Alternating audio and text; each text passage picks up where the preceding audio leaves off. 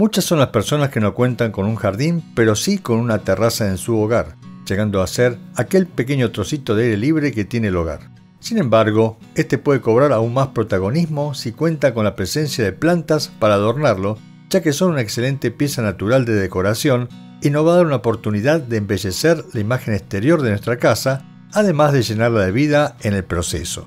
Así que, si buscas adornar y presumir tu terraza con especies vegetales, Hoy te hemos preparado una lista de 10 plantas que presentan una floración muy colorida y que cuentan con características que la van a ser ideales para esta tarea. Si estás interesado en este contenido, nos podés ayudar dando me gusta, suscribiéndote y activando la campanita para estar al tanto de cuando subimos un nuevo e interesante video. La planta que nos abre las puertas de esta interesante lista se la puede ver en diversos jardines, aunque también se adapta bien a las terrazas. Estamos hablando de la caña de Indias, conocidas además por otros nombres que varían según la región. Es una especie rizomatosa de origen sudamericano que se compone de tallos erectos con un tamaño que suele alcanzar el metro y medio de altura. Su follaje se encuentra compuesto por hojas de gran tamaño y oblongas que pueden llegar a desprenderse durante las temporadas invernales. Por el lado de sus bellas flores se agrupan inflorescencias grandes de 5 a 6 flores con tonos muy vivos dependiendo de la variedad, tales como el rojo, el naranja, el amarillo o el magenta. Al contar con porte vertical, puedes plantar diferentes de ellas en una maceta rectangular, creando un pequeño muro vegetal. De hecho, se da bien en el exterior y en gran variedad de climas, siempre que no haya nevadas. Continuamos con una planta que es ideal para crear vistosas parras o decorar pérgolas. Siendo nativa del este de Australia y de países asiáticos, nos encontramos con la wisteria, llamada popularmente como glicina. Es un arbusto leñoso de hábito rastrero, al punto que sus ramas pueden trepar sobre cualquier superficie u otras hierbas.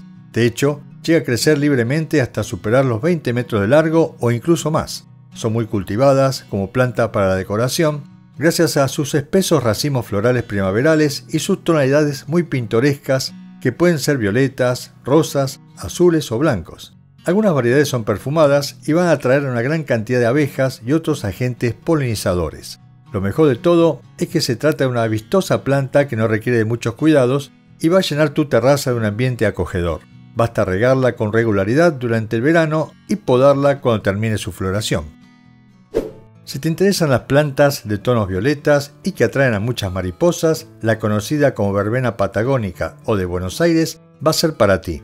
Esta especie sudamericana se caracteriza por ser de característica vivaz, alcanzando un metro y medio de altura o incluso más. No obstante, va a contar con una mata muy poco densa y de poca cantidad de hojas, siendo de reducido tamaño, dentadas y alargadas. Por de su floración, se compone de pequeñas florecillas que van a estar agrupadas en racimos en forma de corona, haciendo su aparición durante la mayor parte del verano y otoño, contando con una tonalidad violeta intenso. De hecho, es muy atractiva para los insectos polinizadores, como las mariposas y las abejas. La vas a poder plantar en la terraza siempre y cuando se proporcionen las condiciones adecuadas de crecimiento. Es fundamental que cuentes con espacio suficiente y un buen drenaje, además de evitar las heladas fuertes. En este punto volvemos con otra hierba de porte erecto y muy colorido, el conocido por el nombre de astilbe. Es una especie originaria de China y Japón siendo de característica herbácea y perenne que también puede alcanzar una muy buena altura, aunque lo habitual es que no superen los 70 centímetros. Su follaje es de tono verde oscuro y se agrupan en tallos largos y delgados.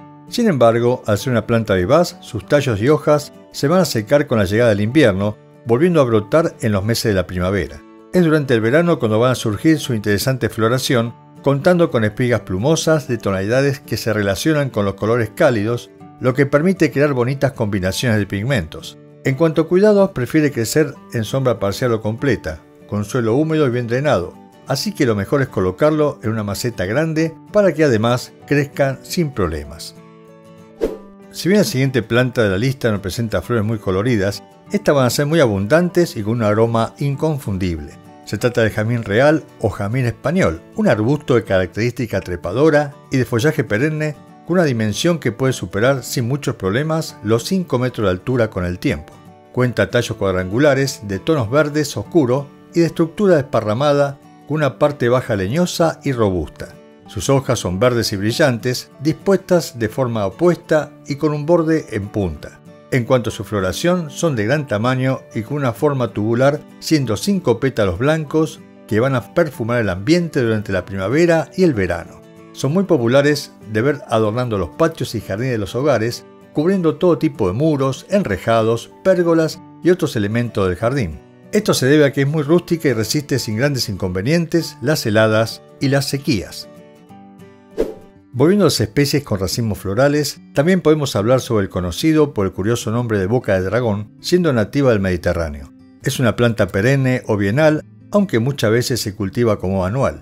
Por lo general alcanzan diferentes tamaños, ya que las hay de 60 centímetros o de un metro y medio de altura. Sus hojas son verde oscuro, lanceoladas y con una textura suave y peluda. El nombre que lleva es debido a su floración, ya que, si usamos un poco la imaginación, recuerda de cierta manera a la boca de un dragón. Están presionadas ligeramente por los lados y la flor se abre casi como si te tratara una boca. Su periodo de aparición comienza en la primavera y se extiende hasta el otoño, presentando un gran poder de ornamentación. Esto hace que sean muy utilizadas en jardines o macetas de forma individual.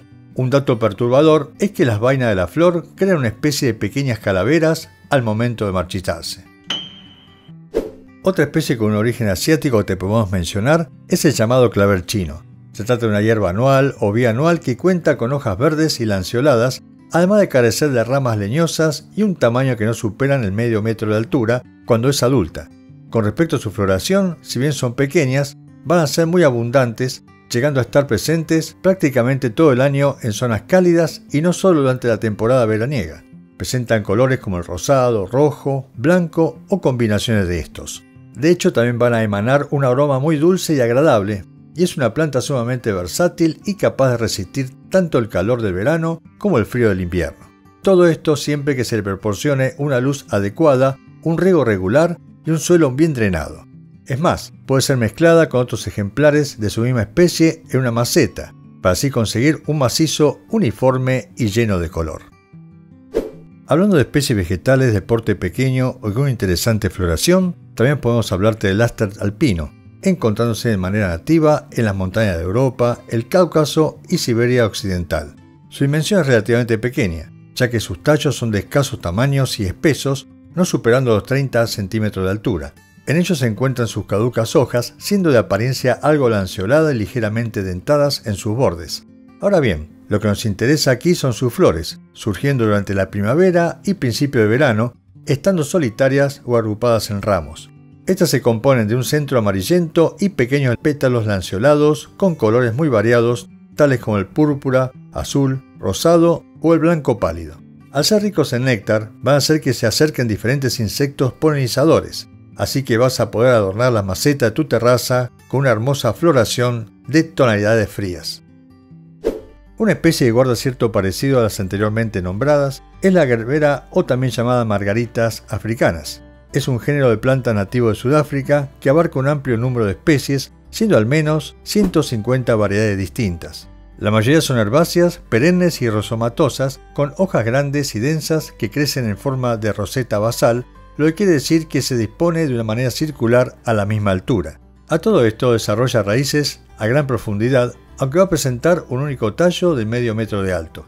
En cuanto a sus flores, pueden llegar a medir más de 18 centímetros de diámetro, contando con una amplia variedad de tonalidades que van de los cálidos, rojos o naranjas, hasta los tonos más fríos como el morado. De hecho, su época de floración es de larga duración, abarcando de principio de la primavera al otoño llegando a permanecer en la planta por varias semanas antes de que se marchiten. Por último, podemos finalizar la pintoresca lista con una planta que cuenta con flores muy ornamentales y que soporta condiciones adversas. Se trata de la lelí, una decorativa hierba originaria del Mediterráneo, Sudáfrica y Asia Central. Esta rústica especie se caracteriza por tener una base semileñosa y un tallo central que le permite alcanzar un poco más de medio metro de altura en una condición adecuada de cultivo.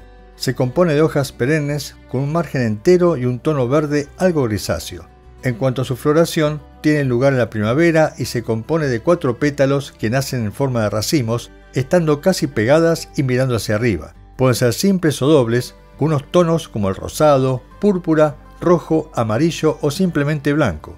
De hecho, llega a permanecer en la planta hasta por dos semanas, siendo no solo atractiva visualmente, ya que además emana una intensa fragancia que va a perfumar todo el espacio en donde se encuentre.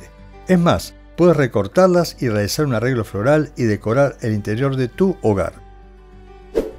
Gracias por ver este video. Si llegaste hasta aquí y te has quedado con ganas de saber más sobre las plantas y la naturaleza, puedes hacer clic en alguno de los videos que aparecen en pantalla, ya que estoy seguro te van a interesar.